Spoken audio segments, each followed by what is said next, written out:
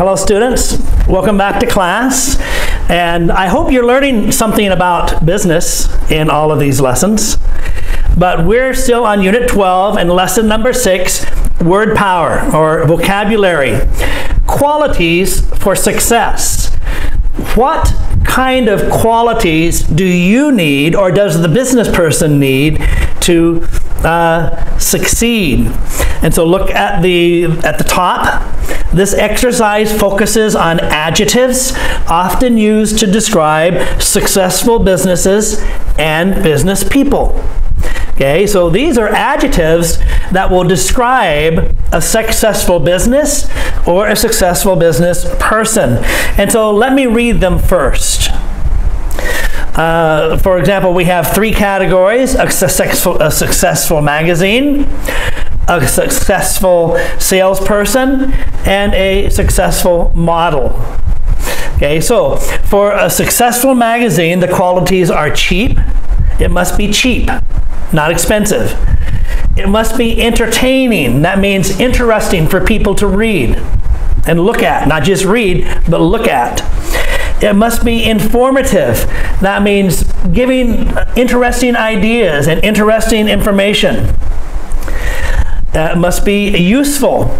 All of these are similar, something that you can use. If people read the magazine, it must be interesting, it must be cheap, entertaining, informative, giving them information that they want, making them interested and kind of happy, enjoy reading it, but also something that they can use in their life.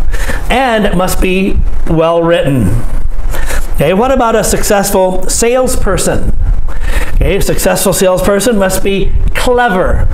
Okay, clever or smart. If you look at the definition of that, able to use your intelligence to do something or showing ability and skill.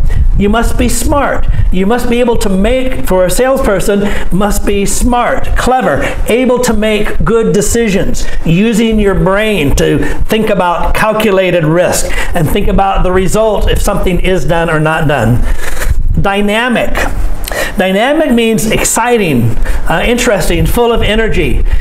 And so, if you want to be a salesperson, you should not be a boring person. You should be someone that people like to listen to. That's called dynamic. You're, you, you, you move your hands, you smile, you move around a bit. All right? That's a dynamic person, someone that moves, someone that's excited, someone that other people uh, like to listen to. That's a dynamic person. Persuasive able, able to uh, influence, to, to persuade people. Persuasive. Okay, so you must be able to persuade them. Persuade is the verb, persuasive is the adjective, persuasion is the noun. So you must be able to convince, to persuade, and they must be tough.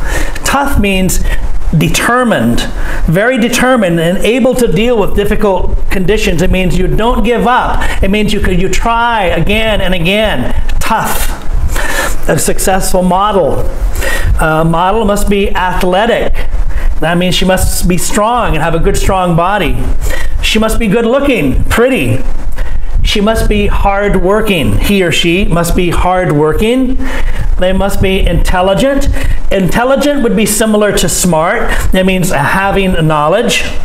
And patient, because you don't always succeed the first time.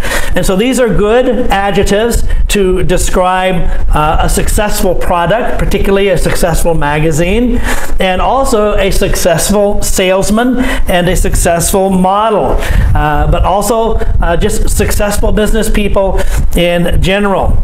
All right? And so you can practice. I remember, using and learning vocabulary words is not the most important thing. It's knowing the definition of the word is one thing, but knowing how to use the word in a sentence and a conversation